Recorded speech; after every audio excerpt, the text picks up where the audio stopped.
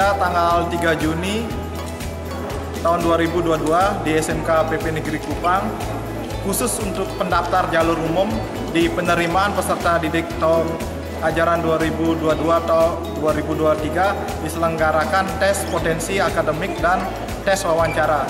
Jadi secara teknis paginya mereka akan uh, dilakukan tes potensi akademik. Ada 80 peserta yang sudah memilih jalur umum. Setelah mereka selesai melakukan tes potensi akademik, akan dilanjutkan dengan tes wawancara. Tes wawancara ini dilakukan oleh guru-guru di SMK PP Negeri Kupang berdasarkan rubrik yang sudah dibuat bersama oleh panitia penerimaan peserta didik baru di SMK PP Negeri Kupang.